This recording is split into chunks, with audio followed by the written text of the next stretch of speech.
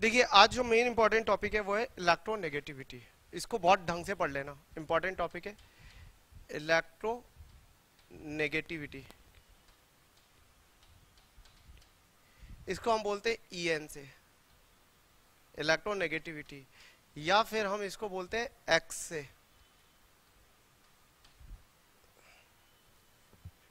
ये रहा हमारा इलेक्ट्रोनेगेटिविटी क्या बता रहा है? ध्यान से देखिएगा। It show the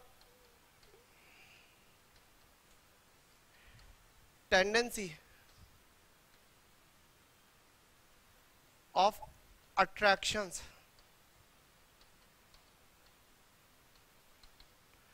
of bonded electron bonded electron यानी कुल मिला के अगर हम बात करें तो जब तक बॉन्ड नहीं बनेगा, हम इसके बारे में नहीं बात करेंगे। हाँ। जैसे हमारे पास एच एक्स है एच एफ़ मान लिया मैंने, या मैं मान ले रहा हूँ एच सी एल ठीक है? और ये बॉन्डिंग इलेक्ट्रॉन है। होने कहाँ चाहिए थे? सेंटर में। लेकिन पता चल रहा है कि सी एल की तरफ़ ज़्यादा है, जिसकी वजह से माइनस डेल्टा और प्लस डेल्टा चार्ज आ रहा है। ये एक्सपेक्टेड था, ये रियल है। समझ में आ रहा है? इससे क्या पता चल रहा है कि आपका होना यहाँ चाहिए था और हो यहाँ रहा है, इससे क्या पता चल रहा है? पहला, कि मॉलिक्यूल में पोलरिटी जनरेट हो रही है। पोलरिटी का मतलब समझते हैं? चार्ज जनरेट हो रहा है, जिसको आप ज़ीरो ज़ीरो सोच रहे थे। आज वो किसमें कन्वर्ट हो चुका है? प्लस डेल्टा और माइनस डेल्टा ठीक है? तो क्या ये आपके पास अब पोलर बन चुका है? हाँ। पोलर मॉलिक्यूल तो आपके पास क्या की पॉइंट आ रहा है? बहुत सारे की पॉइंट आ रहे हैं। पहला it is a relative it is a relative property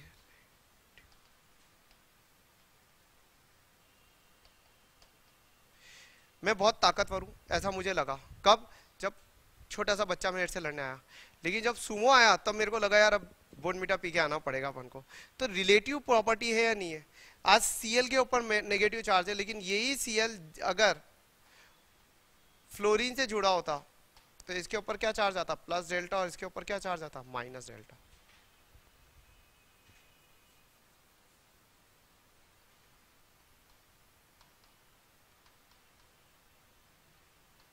दूसरा पॉइंट अगर ये एक तरह से इलेक्ट्रॉन्स को शिफ्ट कर रहे हैं। तो पहले ये बताओ, इसके अंदर कौन से इलेक्ट्रॉन शिफ्ट हो रहे हैं?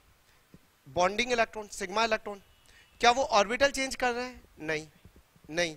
बस ऑर्बिटल में ही थोड़ा आगे पीछे खिसक रहे हैं मूव कर रहे हैं, बस। समझ में आ रहा है? तो orbital not change orbital not change orbital में कोई चेंजेज मूवमेंट नहीं हुआ है इलेक्ट्रॉन ने electron electron do not change its orbital इसको ऐसे लिखे तो ज़्यादा अच्छा लगेगा। ठीक है? तो दो पॉइंट आपके पास हो गए। थर्ड पॉइंट क्या पोलरिटी जनरेट हो रही है? हाँ।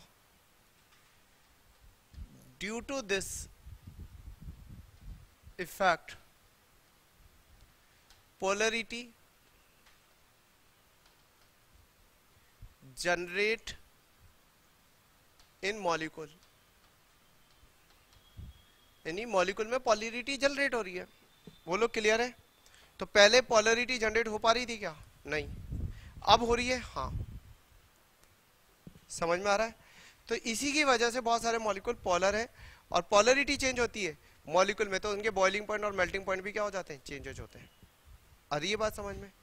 तो fourth point due to polarity melting point and boiling point of molecule increases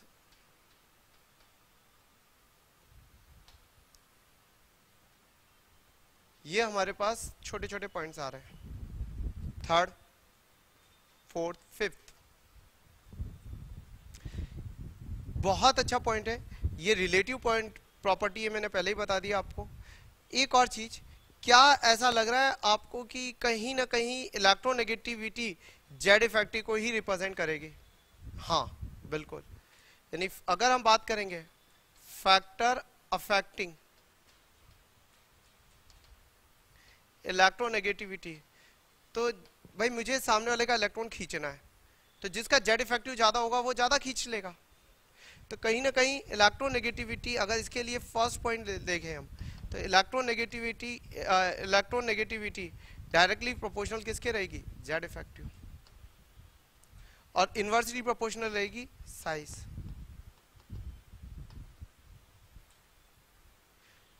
तो what the difference between electronegativity and electron affinity electron affinity में पूरा इलेक्ट्रॉन अंदर आ जाता है ऑर्बिटल चेंज कर देता है, सामने वाले का ऑर्बिटल से अपने वाले ऑर्बिटल में आ जाता है। और यहाँ पर ऐसा हो रहा है क्या? नहीं, ऐसा नहीं हो रहा। तो ये हम डिफरेंस अलग से लिख लेंगे, लेकिन उससे पहले पीरियोडिक टेबल के अंदर अगर हम बात करें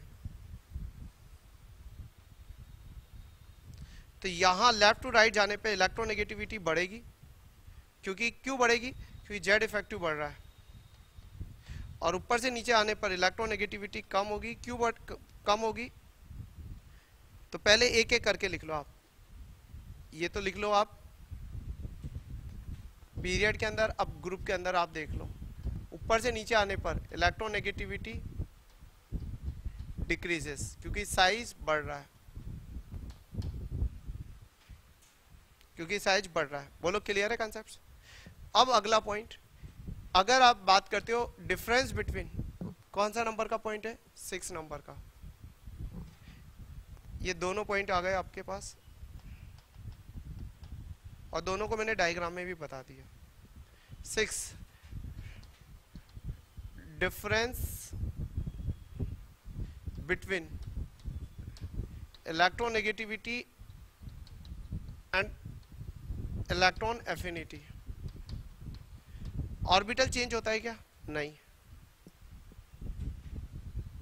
Orbital not change orbital change.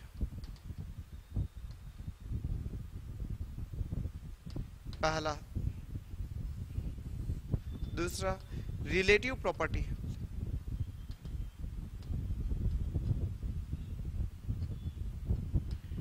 और ये अगर हम बात करें तो क्या रिलेटिव प्रॉपर्टी होगा? नहीं।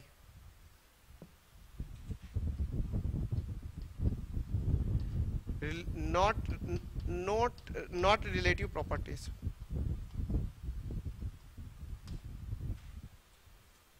समझ में आ रहा है? तो क्योंकि इसके अंदर इलेक्ट्रॉन सिर्फ़ बॉन्डिंग में ही रहा है शिफ्ट हुआ है थोड़ा सा अंदर तो नहीं आया तो यहाँ हमारे पास थर्ड पॉइंट जो हम बात कर रहे हैं ना आ, क्या बोलते हैं? हाफ़ फिल एंड फुलफिल क्योंकि हमें निकालना तो है ही नहीं बाहर ना अंदर डालना है। तो हमें न तो इलेक्ट्रॉन पूरी तरह से इजेक्ट करना है, ना पूरी तरह से अंदर लेना है। तो हाफ़ फिल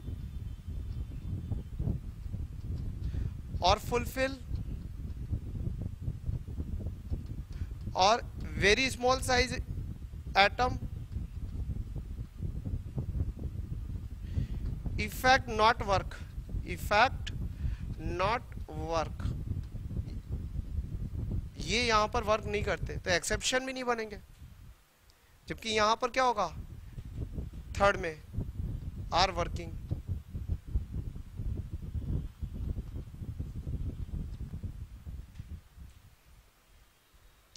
समझ में आ रहा है? इसीलिए यहाँ पर एक्सेप्शंस क्रिएट हो रहे थे, यहाँ पर एक्सेप्शन क्रिएट नहीं होंगे। फ़र्क क्या है? जेड इफ़ेक्टिव के अलावा और एटम की साइज़ के अलावा कोई वर्क ही नहीं कर रहा है। मैंने इलेक्ट्रॉन खींचा, अंदर तो लिया नहीं, जिससे मेरे हाफ़ फिल और फिल पे फ़र्क पड़े। आ रही है बात? और जब half fill full fill small size effect नहीं लगेंगे तो मेरे तो एक्सेप्शन ही खत्म हो गए पूरे। एक्सेप्शन इन्हीं की वजह से तो आ रहे थे। आ रहा है? बस एक्सेप्शन एक वजह से आ सकता है, वो भी फ़र्क पड़ सकता है, वो है डीप ब्लॉक कॉन्ट्रेक्शन या ब्लॉक कॉन्ट्रेक्शन जिससे इलेक्ट्रोनेगेटिविटी अप्रोक्सीमेट सेम आ सकती है। आ रही है बात समझ में? क्योंकि वो जेड इफ़ेक्टिव पे था और जेड इफ़ेक्टिव तो यहाँ पर रूल में है। तो जेड इफ़ेक्टिव से जो एक्सेप्शन बन सकते हैं, वो बनेंगे। बाकी नॉर्मल तो हाफिल और फुलफिल वाले जो एक्सेप्शन है, वो तो नहीं बन रहे आपके। कुछ समझ में आया है आपको? मैं आपको बार बार बोल रहा हूँ it is a relative tendency बस बॉन्डिंग पहले बॉन्ड बनना ज़रूरी है। तो ये आपके पास हो रहा है। कि आपको ये चीज़ समझ में आ गया? इसमें बॉन्ड बनना बहुत ज़रूरी है। हाँ। तो ये आपके पास बहुत अच्छे से आ रहा है। अब जब रिलेटिव है तो आप इसको किसके रेस्पेक्ट में रिलेटिव रेफरेंस पॉइंट बना दो। तो किसी साइंटिस्ट ने रेफरेंस पॉइंट क्या बना लिया हाइड्रोजन के लिए। किसी ने को, कोई और एलिमेंट ले लिया कि हाँ मैं इसकी इलेक्ट्रोनेगेटिविटी ये मानता हूँ इसके रेफरेंस में ये ज़्यादा इलेक्ट्रोनेगेटिव ये कम इलेक्ट्रोनेगेटिव तो जब भी कोई रिलेटिव प्रॉपर्टी होती है तो रेफरेंस पॉइंट चाहिए रहता है। तो आपको यहाँ तक सब समझ में आ गया? कोई डाउट नहीं है? तो जनरल अगर हम बात करें इलेक्ट्रोनेगेटिविटी ऑर्डर इस जगह। तो कार्बन कार्बन से ज़्यादा नाइट्रोजन नाइट्रोजन से ज़्यादा ऑक्सीजन ऑक्सीजन से ज़्यादा फ्लोरीन। बोलो यस और नो और नियोन सबसे कम। क्यों? क्योंकि वो बॉन्ड ही नहीं बनाता। तो जो बॉन्ड नहीं बनाएगा, उसके लिए इलेक्ट्रोनेगेटिविटी क्या बताओगे? ज़ीरो जबकि इलेक्ट्रॉन एफिनिटी का ऑर्डर क्या था? नाइट्रोजन सबसे कम, फिर कार्बन फिर ऑक्सीजन फिर फ्लोरीन क्यों ऐसा? क्योंकि नाइट्रोजन हाफ़ फिल है। हाफ़ फिल का फ़र्क पड़ेगा। जबकि इलेक्ट्रॉन एफिनिटी ऑफ़ न्यून ये तो उल्टा ज़ीरो ही मान लो या नॉट डिफाइन ही मान लो। ये भी ज़ीरो है यहाँ पर। अच्छा आइनाइजेशन एनर्जी ऑर्डर क्या था? आयनाइजेशन एनर्जी नाइट्रोजन की ज़्यादा थी। कार्बन कार्बन से ज़्यादा ऑक्सीजन ऑक्सीजन से ज़्यादा नाइट्रोजन नाइट्रोजन से ज़्यादा फ्लोरीन और फ्लोरीन से ज़्यादा नियोन तो ये आपके पास तीनों में डिफरेंस आ गया। क्या कुछ और एग्जांपल बन सकते हैं? बिल्कुल। ग्रुप में देखते हैं अपन। इलेक्ट्रोनेगेटिविटी ऑफ़ ऑर्डर आप मुझे बताओ इलेक्ट्रोनेगेटिविटी किसकी ज़्यादा होगी? फ्लोरीन की, फिर क्लोरीन फिर ब्रोमीन फिर आयोडीन क्लियर है? जबकि इलेक्ट्रॉन एफिनिटी के लिए क्या रहेगा आपके लिए?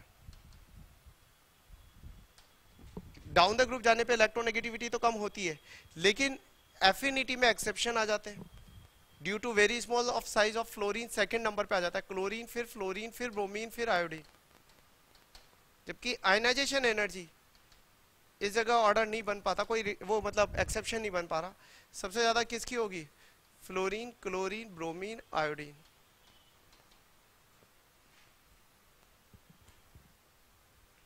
क्योंकि यहाँ निकालना है, डालना तो है नहीं तो वो जो due to very small size effect है, वो भी वर्क नहीं कर पाता है यहाँ पर। कोई समझ में आया? तो ये जनरल हमारे पास है जो हमारे को ध्यान रखना है। थर्ड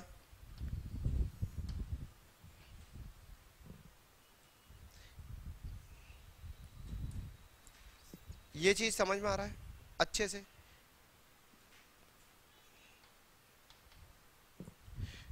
मेटल के लिए इलेक्ट्रोनेगेटिविटी क्या होती है? बहुत ही कम।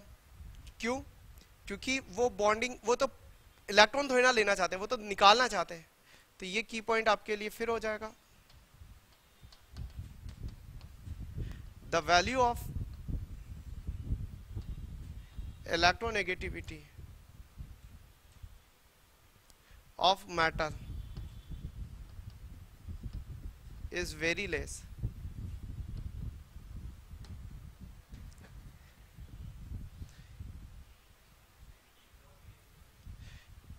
very less अब हो ये रहा है कि एस ब्लॉक के लिए तो वेरी लेस बोल सकते हो डी ब्लॉक के लिए थोड़ी ज़्यादा हो जाएगी।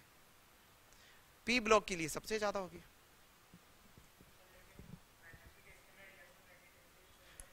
अब ये बात आप बिल्कुल सही कह रहे हो कि मेटल के लिए इलेक्ट्रोनेगेटिविटी हम कैसे डिफाइन करेंगे? क्योंकि वो तो कोवलेंट बॉन्ड बनाते ही नहीं और ये तो पूरी इलेक्ट्रोनेगेटिविटी कोवलेंट बॉन्ड में ही हम बात कर रहे होते हैं। तो हमने क्या किया? कुछ और पैरामीटर है जिससे हम हाइपोथेटिकल वैल्यू निकाल के वैल्यूज़ को कंपैरिजन करते हैं। डायरेक्ट कोवलेंट बॉन्ड नहीं बनाओगे तब तक इलेक्ट्रोनेगेटिविटी कैसे डिफाइन करोगे? तो किसी और पैरामीटर से हम रिलेटिव मतलब हमारे पास कुछ थ्योरी ऐसी है जिससे हम निकाल लेते हैं तो वो थ्योरी अब हम पढ़ेंगे। लेकिन हाँ इतना तो बोल सकते हैं, बिना किसी थ्योरी के कि मेटल की बहुत कम होगी। समझ में आ रहा है? आज जैसे मैं बात कर रहा हूँ, पोटेशियम। पोटेशियम कोवलेंट बॉन्ड नहीं बनाता तो ये कैसे निकालेंगे? तो ये भी हमारे लिए की पॉइंट हो गया। For electronegative for calculation for calculate electronegativity we need covalent bond and we know that many matters do not form. Covalent bond. So their electronegativity. Calculate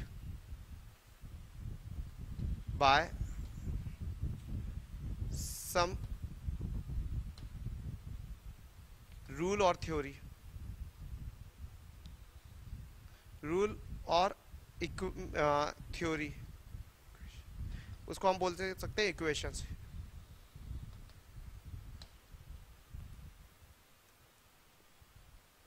करें, उनको पढ़ना शुरू करें। देखिए इलेक्ट्रोनेगेटिविटी के लिए अलग अलग साइंटिस्ट अलग अलग थ्योरी देने के लिए आ गए। तो तीन साइंटिस्ट की थ्योरी सेलेक्ट की गई।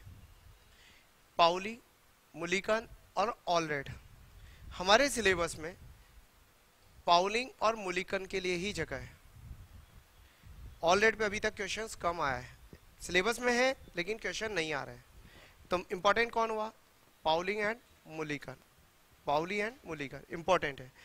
ये सिलेबस में तीन हमारे हैं। समझ में आ रही है बात? तो हम तीनों को ही पढ़ेंगे। हम सिलेबस पढ़ते हैं। तो सबसे पहले पाउलिंग ने क्या कहा? उसने कहा कि भाई मेरे अकॉर्डिंग इलेक्ट्रोनेगेटिविटी एक एनर्जी है। मैंने कहा, ठीक है। तो कौन जिससे इलेक्ट्रोनेगेटिविटी निकाली जा सकती है। उसका साफ़ साफ़ कहना था कि अगर किसी बॉन्ड में पाउली को अच्छे से समझना आप इसके लिए, उसने साफ़ कहा कि अगर कोई ए बी बॉन्ड है, जिसमें इलेक्ट्रोनेगेटिविटी की वजह से आयनिक करेक्टर आएँगे, मैंने कहा हाँ। तो जितना ज़्यादा इलेक्ट्रोनेगेटिविटी डिफरेंस होगा, उतना ज़्यादा आयनिक करेक्टर आएगा या नहीं आएगा? मैंने कहा हाँ।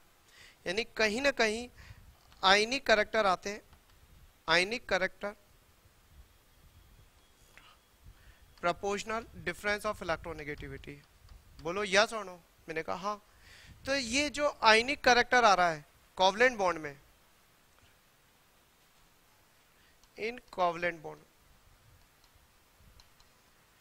तो पहली बात आइनिक करेक्टर कि डायरेक्ट इलेक्ट्रोनेगेटिविटी डिफरेंस प्रोपोर्शनल होगा। मैंने कहा हाँ ये बिल्कुल सही कह रहे हो। तो और इससे बॉन्ड एनर्जी भी प्रोपोर्शनल हो जाएगी, क्योंकि बॉन्ड एनर्जी भी आइनिक करेक्टर के प्रोपोर्शनल हो रही है। बॉन्ड एनर्जी बढ़ जाएगी। तो जो नॉर्मल कोवलेंट बॉन्ड होता, उसके कंपेयर में आइनिक करेक्टर आने से बॉन्ड एनर्जी क्या हो जाएगी? बढ़ जाएगी। Increases due to increases in ionic character मैंने कहा हाँ बिल्कुल. तो एक तरह से अगर आप कोई बॉन्ड मान रहे हो, ध्यान से सुनना ए बी और एक मान रहे हो ए बी बस अंतर ये है कि इसके ऊपर ज़ीरो ज़ीरो चार्ज ले रहे हो, जो कि हाइपोथेटिकल क्वेश्चन और एक पे प्लस डेल्टा और एक पे माइनस डेल्टा ले रहे हो तो यहाँ एनर्जी मान लीजिए ई वन यहाँ एनर्जी मान लीजिए ई e टू कौन ज़्यादा होगी? ई e टू ज़्यादा होगी। सेम है। अगर हम जो सोच रहे थे हम जो प्रेडिक्ट कर रहे थे एनर्जी उससे ज़्यादा प्रेडिक्ट आए, आएगी। प्रैक्टिकल वैल्यू ज़्यादा आ रही है क्योंकि उसमें आइनिक करेक्टर आ चुके हैं। आयनिक आने की वजह से एक डायपोल डायपोल अट्रैक्शन नहीं होगा प्लस माइनस अट्रैक्शन एक तो शेयरिंग की वजह से बॉन्ड एनर्जी आ रही है दूसरा प्लस माइनस अट्रैक्शन की वजह से भी एनर्जी है। तो वो एनर्जी बढ़ चुकी है अपनी एग्जैक्ट वैल्यू से। उस बढ़ी हुई एनर्जी को हमने क्या नाम दिया? Bond resonance energy. तो हम ये बात कर रहे हैं, bond energy increases with increases ionic character ठीक है? Ionic character in covalent compound आप इसको ऐसे समझिए। तो कहीं ना कहीं जो अमाउंट इंक्रीज हो रहा है, उसका आपने क्या बॉन्ड नाम दे दिया? बॉन्ड रेजोनेंस एनर्जी तो तो आपके पास क्या है? इंक्रीजेस एनर्जी को आपने क्या नाम दे दिया? Bond resonance energy. डेल्टा से रिप्रेजेंट करा। कर दिया। आप देखते जाइए पहले। और ये डेल्टा इस बात पर निकाल निकाल लिया, आपने डेल्टा निकालना भी सीख लिया। तो कहीं ना कहीं डेल्टा की वैल्यू किसके प्रोपोर्शनल है? डेल्टा एक्स के। ये डेल्टा बता रहा है, बॉन्ड रेजोनेंस एनर्जी और ये डेल्टा एक्स। इलेक्ट्रोनेगेटिविटी डिफरेंस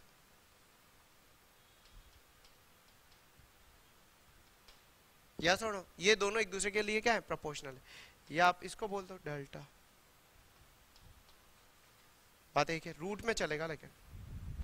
अब क्लियर है? ऐसे लिखे आप। तो जब प्रोपोर्शनल हटता है तो कोई ना कोई कांस्टेंट आता है। तो वही चीज़ इसने लिया। डेल्टा एक्स बी लेना पड़ेगा आपको।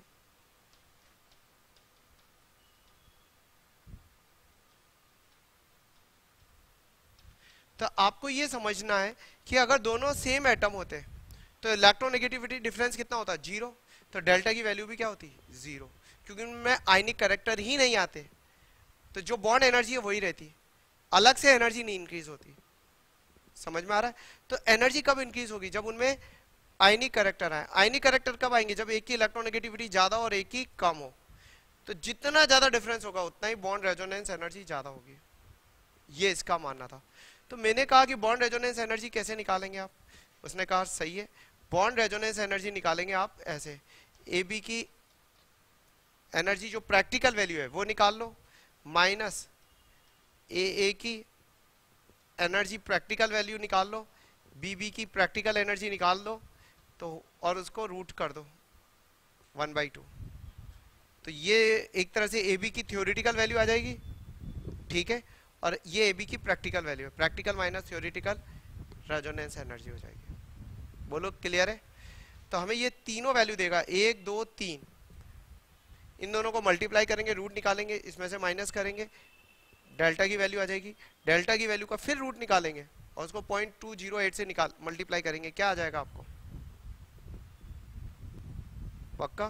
तो रेफरेंस पॉइंट चाहिए था हमें। हमने रेफरेंस पॉइंट किसको लिया?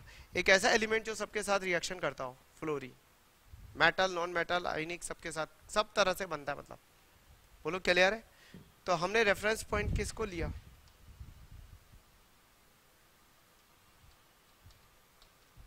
फ्लोरीन और फ्लोरीन की एज्यूम करी हमने electronegativity assume that electronegativity of fluorine is 4.0 ये हमने एज्यूम कर ली।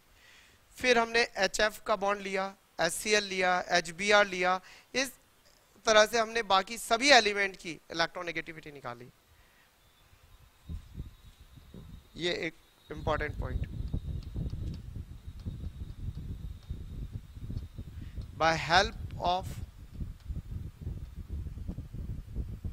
fluorine, other element, other electron negativity, other atom electronegativity कैसे देखेंगे? ऑक्सीजन की आ रही थी 3.5 नाइट्रोजन की आ रही थी 3.1 ले लेना, थोड़ा सा ज़्यादा है। वैसे दोनों की बराबर ही होती है, कुछ बुक 3.0 क्लोरीन को भी 3.0 लेकिन ये 3.0 से थोड़ा सा कम होती है और नाइट्रोजन की थोड़ी सी ज़्यादा होती है पॉइंट में। अप्रोक्सीमेट दोनों बराबर है। और हाइड्रोजन की 2.1 और कार्बन की 2.4 ये आपको याद रहनी चाहिए बाकी कुछ भी दिक्कत नहीं है आपको और याद ना हो कोई चल, चलेगा। तो बताइए क्लोरीन की कितना है? 3.0 नाइट्रोजन 3.0 हाइड्रोजन 2.1 और कार्बन 2.4 मेटल की हाइड्रोजन से कम होगी 2.1 समझ में आ रही है बात? और नॉन मेटल की हाइड्रोजन से ज़्यादा होती है जनरली तो ये हमारे लिए इंपॉर्टेंट पॉइंट हो गए सारे के सारे. इज़ दैट क्लियर लेकिन इसका ड्रॉबैक क्या था? ये डेल्टा निकालना बॉन्ड एनर्जी निकालना ये मुश्किल था तो ड्रॉबैक यही लिख लीजिए एक. It is difficult to calculate delta the value of delta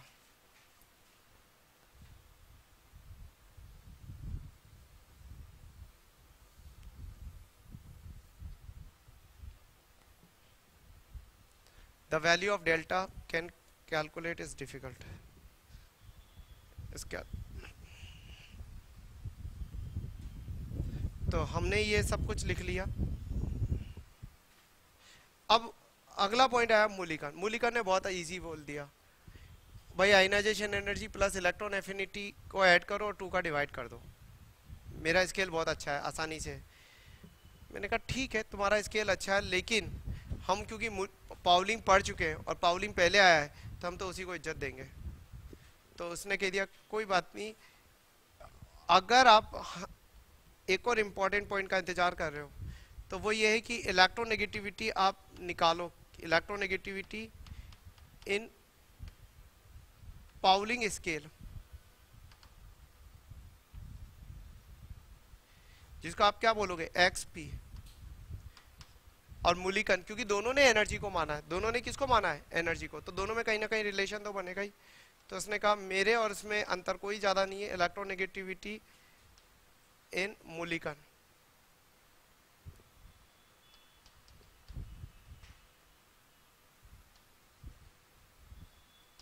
Mulliken scale ने क्या माना था? एक्स एम उसमें आप सिर्फ़ 2.8 का डिवाइड कर दो। हम दोनों की वैल्यू सेम आ जाएगी।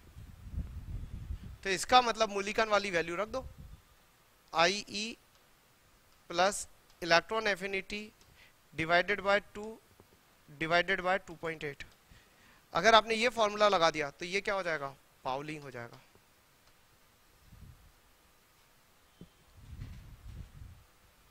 सही है? तो इसको बाद में और अच्छे से लिख सकते हो आप। आई ई प्लस ई ए 5.6 लिख दिया जाए, दोनों को मल्टीप्लाई करके।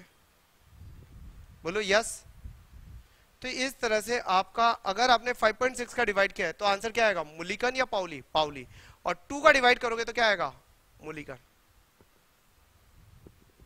आ गई बात समझ में? कोई दिक्कत नहीं है। तो ये बात ध्यान रखना। 2 का डिवाइड करा है, मुलिकन आएगा। 5.6 का डिवाइड किया है, पाउली आएगा।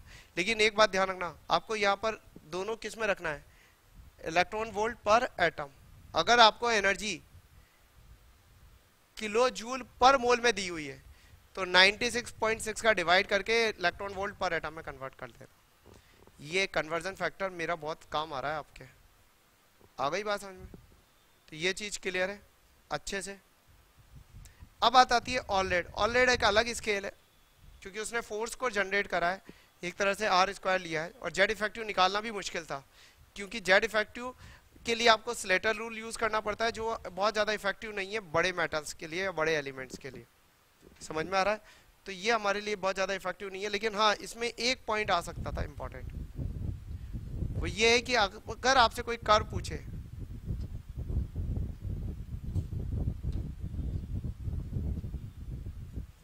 या वन अपॉन आर स्क्वायर के बीच में पूछे तो एक स्ट्रेट लाइन जाएगी। वन अपॉन आर के पीछे में पूछे तो ऐसे जाएगा, वन अपॉन आर स्क्वायर में पूछे sorry one upon R square के पीछे तो ऐसे जाएगा।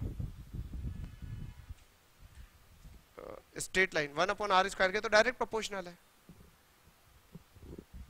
लेकिन ये यहाँ से नहीं जाएगा ओरिजिन से। यहाँ से जाएगा। y equal to M X plus C one upon R square. तो इक्वेशन क्या बनेगी? y equal to M X plus C और y equal to M X plus C का करो ऐसा होता है। और ये जो बेटा आएगा ना, क्या नाम है? थीटा। तो टेन थीटा की वैल्यू क्या होगी मालूम है? Point three five nine Z effective और ये वैल्यू जो होगी, ये कितना होगा? पॉइंट सेवन फोर फोर समझ में आ गई बात? तो ये आपको कर पूछा जा सकता है, बाकी तो सब इजी है। करें आप इसको। तो चलिए बात करते हैं हमने ये तो पढ़ लिया कि इलेक्ट्रोनेगेटिविटी एटम की होती है। होती है ना? क्या उसके अलावा भी कोई ऐसे फैक्टर होते हैं जो इलेक्ट्रोनेगेटिविटी को इन्फ्लुएंस करते हैं चेंज कर देते हैं? हाँ। यानी हमने जितनी भी स्केल्स पढ़े, वो एक एटम की इलेक्ट्रोनेगेटिविटी बता रहा है। लेकिन ये एक वेरिएबल क्वांटिटी है, जो इस बात पर डिपेंड करती है कि और भी एटम है या नहीं है, या उसका हाइब्रिडाइजेशन क्या है। तो एक, दो और point electronegativity also depend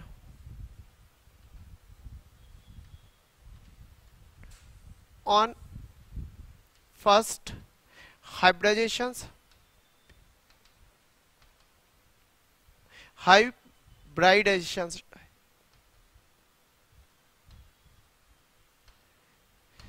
hybridization में हम ये बोलते हैं कि अलग अलग हाइब्रिडाइजेशन होता है और परसेंटेज एज करेक्टर जितना ज़्यादा होगा इलेक्ट्रोनेगेटिविटी उतनी ही ज़्यादा होगी।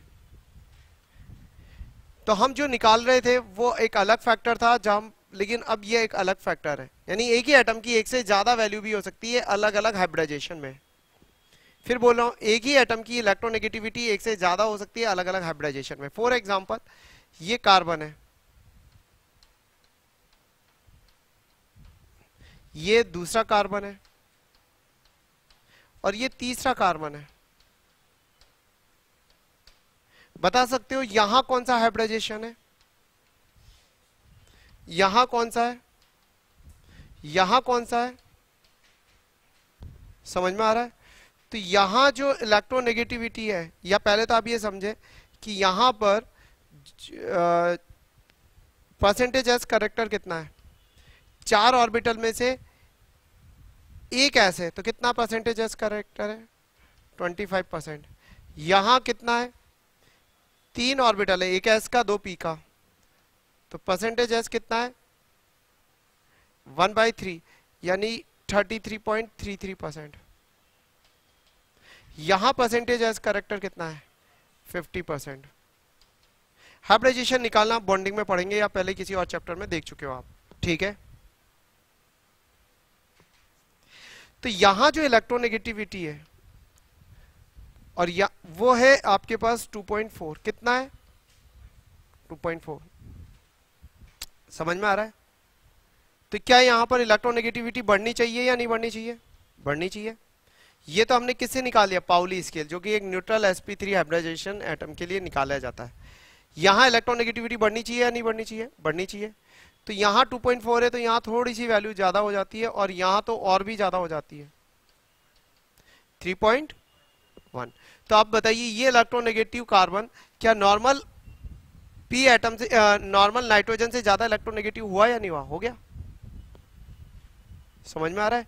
तो इलेक्ट्रोनेगेटिविटी सेम एटम के अलग अलग हाइब्रिडाइजेशन पे अलग अलग होती है। ये बात तय है। आ गई बात समझ में? दूसरा पॉइंट एक और पे डिपेंड करता है इलेक्ट्रोनेगेटिविटी और वो है ऑक्सीडेशन स्टेट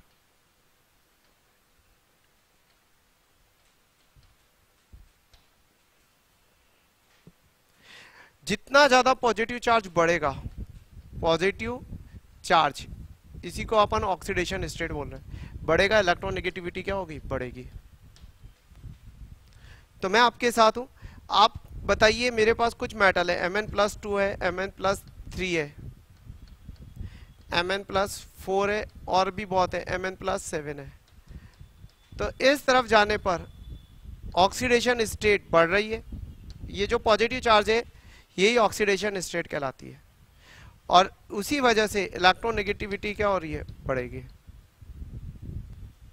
यानी एम एन प्लस सेवन की ऑक्सीडेशन स्टेट ज़्यादा होगी। समझ में आ रहा है? ऐसे ही दूसरा एग्ज़ाम्पल मैंने मान लिया क्लोरीन एक क्लोरीन न्यूट्रल एक minus chlorine plus chlorine plus three chlorine plus five ले लिया मैंने. तो बताइए इस तरफ़ जा रहे हैं ऑक्सीडेशन स्टेट क्या होगी? बढ़ेगी.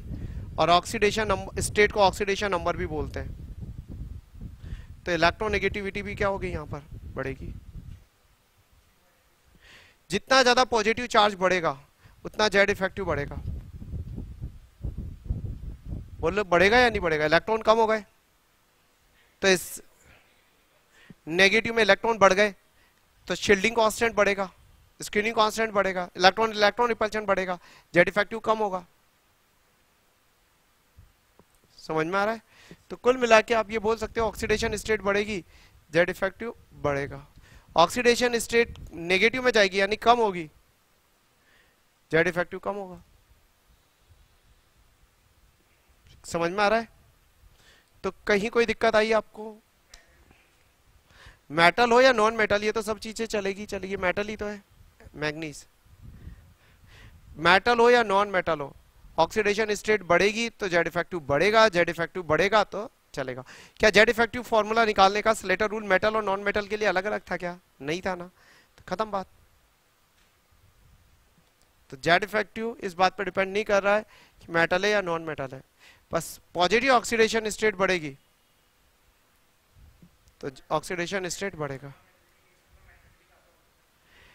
नहीं फैक्टर भाई मॉडल में हम ये नहीं देख रहे। हम ये देख रहे हैं कि ऑक्सीडेशन स्टेट बढ़ने पर मेटल हो या नॉन मेटल हो जेड इफ़ेक्टिव बढ़ता है, जिससे इलेक्ट्रोनेगेटिविटी बढ़ेगी। मैं ये कंपेयर नहीं कर सकता Cl5 और Mn5 या Cl प्लस थ्री और Mn प्लस थ्री में किसकी ज़्यादा होगी। ठीक है? IQ से बोल सकता हूँ, क्योंकि क्लोरीन नॉन मेटल है। तो Cl और और Mn में कौन ज़्यादा है? Cl ज़्यादा है। तो सेम ऑक्सीडेशन स्टेट में Cl प्लस थ्री की इलेक्ट्रोनेगेटिविटी ज़्यादा होगी। ठीक है? लेकिन इसका इससे कंपेयर नहीं कर पाऊँगा मैं। कोई डाउट और? अच्छे समझ में आ गया? लिखे इसको। देखिए एडिशन ऑफ़ हेलोजिनेशन के लिए मैं बात कर रहा हूँ आपके साथ कि अगर हम बात कर रहे हैं तो ये हमारे पास एल्काइन है। क्या है ये हमारे पास? एल्काइन बोलो यस और नो तो जब एल्काइन में एडिशन होगा हेलोजिनेशन का, वो आपने Br2 का किया। किया या नहीं किया? किया। और सॉल्वेंट क्या ले रखा है आपने? CCl4 या कुछ भी नहीं ले रखा। तो बताइए आपके पास क्या बनेगा? ये एडिशन सिन होता है या एंटी एंटी एंटी एडिशन हो रहा है। क्लियर है? तो जब एंटी एडिशन होगा तो आर ये किसमें कन्वर्ट हो जाएगा ये? जल्दी बताएँ। ट्रिपल बॉन्ड किसमें कन्वर्ट होगा? डबल बॉन्ड में। बिल्कुल डबल बॉन्ड में कन्वर्ट हो जाएगा। तो ये एक आर इस तरफ़ जाएगा, एक आर इस तरफ़ जाएगा, एक तरफ़ यहाँ क्या आएगा? बी आर और यहाँ क्या आएगा? बी आर क्या कोई और बन सकता है? नहीं। एंटी एडिशन में यही बनेगा। अब आगे। सेकेंड स्टेप अगर आपने R C double bond C B R B R और आर एक और इक्वलेंट ले लिया। यानी अगर फ़र्स्ट इक्वलेंट लिया होता, सिर्फ़ एक इक्वलेंट लिया होता तो ये बनता, लेकिन एक और इक्वलेंट ले रखा है। यानी वन इक्वलेंट और यूज़ कर रहे हो आप। तो अब क्या होगा? अब तो कोई दिक्कत है ही नहीं, क्योंकि कायरलिटी खत्म हो जाएगी तो सेस और ट्रांस का लफड़ा ही खत्म। B R B R R B R B R clear है कॉन्सेप्ट तो ये इस तरह का कंपाउंड बनेगा। क्या ये कायरल है? नहीं। क्या ये ऑप्टिकल एक्टिव है? नहीं। तो बस यही हमारे पास प्रोडक्ट होगा। तो कुल मिला के हम ये बोल सकते कि ये हमारे पास एडिशन रिएक्शन कुछ इस तरह से हो रही है। तो लिख लीजिए।